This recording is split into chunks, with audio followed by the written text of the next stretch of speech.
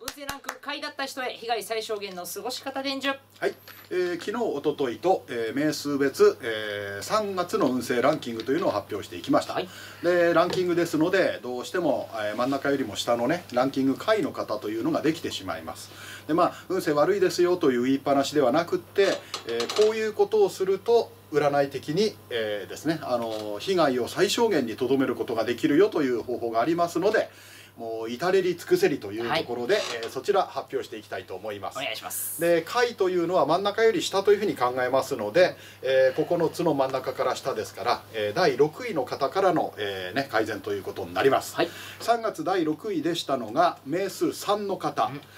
で、えー、とこれはですね、えー自分の部屋の中家の中でいつも自分が座ってる場所まあ居場所ですよね、これを、えー一月だけ違う場所に変えていただきたいということなんですね。まあ本当にこう一部屋ね4畳半アパート住んでますよみたいな場合だったらまああの椅子をこっち持ってくるとかね、あのそう座布団こっち持ってくるとかみたいにまあそう座る場所を変えたりまあ椅子を変える特にまあ座る場所ですよね寝場所でもまあいいんだけどどっちかというと座る方のあの起きてる時の方の場所がいいですので、えー座る場所を一月だけちょっと変えてみてください。はい。はい。で、えー第7位我々でございます、はい。で我々はですね、えー我々はっていうか名数7の方はで、はい。まあ、ごめんなさい名数2の方はですね、7位で2です。名数2の方は何でもいいから同時に2つの新しいことを始めてくださいとで、えーポイントはですねどんなちっちゃなことでも構わないんだけど2つ同時進行でいくよというところが大事です。最初にこっちだけやっといてもうちょっと経ってからこっちじゃダメで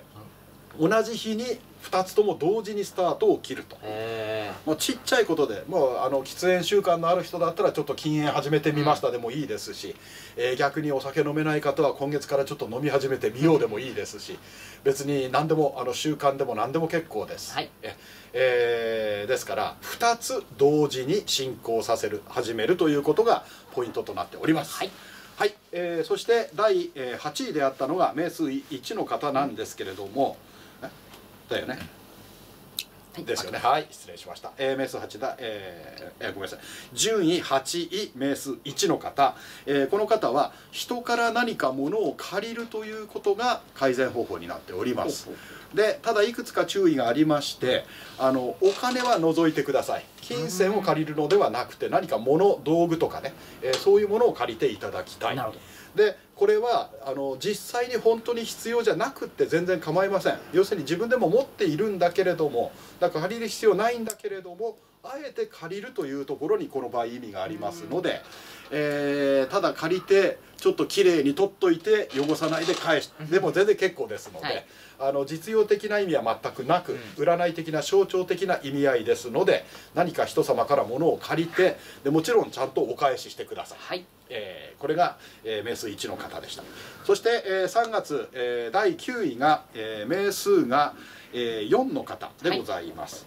で、えーこの場合はですねどっかちょっと出かけていただきたいんですけれども、はい。えーと同じ種類のものがたくさん並んでる場所というちょっと、えー抽象的な言い回しになってしまっております。